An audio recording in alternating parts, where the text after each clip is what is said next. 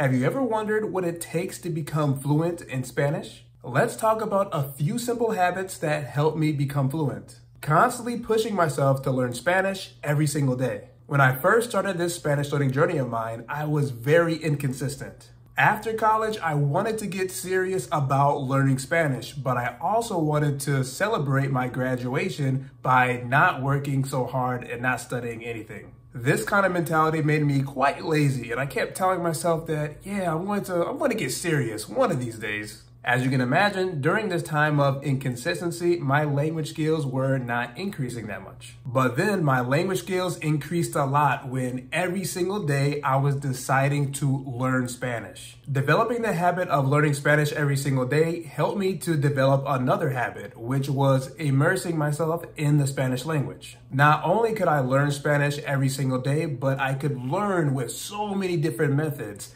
as well, I could surround myself completely with Spanish. I tried to live my life like a native Spanish speaker would. The language on my cell phone was in Spanish. I was listening to music in Spanish all the time while I was cooking, while I was cleaning, while I was working out. I was reading as much as possible in Spanish. I would read comments online in Spanish, like on Reddit or on YouTube. I was reading news articles in Spanish from different Spanish speaking countries. And I would even read the instruction manuals that were in Spanish of the products that I would buy, like a vacuum. I was listening to the radio in Spanish. I was watching movies and TV shows in Spanish, and not just movies that were made for English speakers, but with Spanish subtitles but ones that were created specifically for a Spanish speaking audience. And of course, I spoke Spanish as much as possible, and not just with my Spanish speaking friends, but also with strangers that I would meet when I was out and about. Facing my insecurities head on was also a very good habit that I developed to help me become fluent in Spanish. When I didn't face my insecurities head on and I let them consume me instead, I lost a lot of opportunities to learn Spanish and that definitely did not help to increase my language learning skills. I felt very insecure when I bought this book in Spanish, and it was going to be my first attempt at reading a book in Spanish completely. And that did not go so well because it was so challenging to comprehend it. This made me very stressed out. It made me very frustrated. And I also thought that I was very dumb because I couldn't comprehend what I was reading. However, the reality wasn't that I was too dumb to comprehend this book in Spanish, but I was just being way too harsh on myself and I wasn't being patient because I just started to read the book, right? So it makes sense that I wouldn't comprehend everything that was going on because I'm just so early into the book.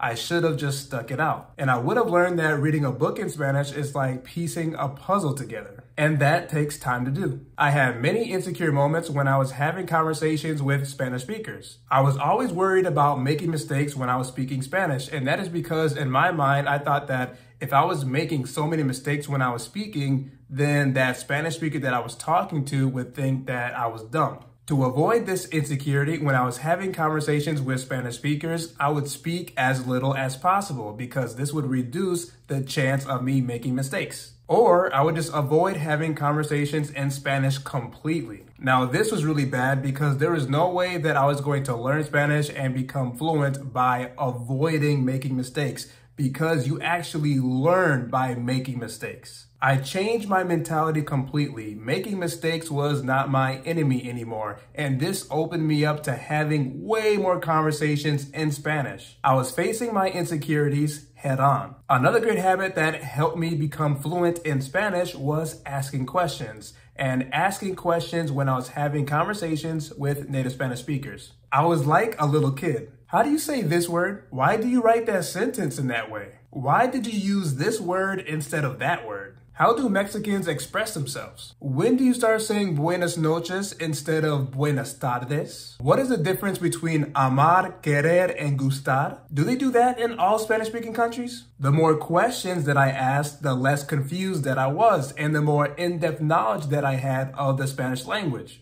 always having a desire to learn something new. This habit was very necessary because there was no way that I was going to become fluent in Spanish if I had the mentality like, okay, I don't have to learn anything new in life because I already know everything. I already have a college degree. Why should I learn something new? I don't need to learn new vocabulary. I don't have to learn about Hispanic culture. Why would I do that for? This drive that I had to learn something new in the Spanish language helped me to not stay at the same level and open many doors of opportunities to learn the Spanish language more deeply. I hope these habits that I have developed throughout my Spanish learning journey will help you become fluent in Spanish as well. If you are fluent in Spanish right now, let me know in the comment section below what were the habits that helped you become fluent. Thank you very much for watching and don't forget to share this video with your language learning friends.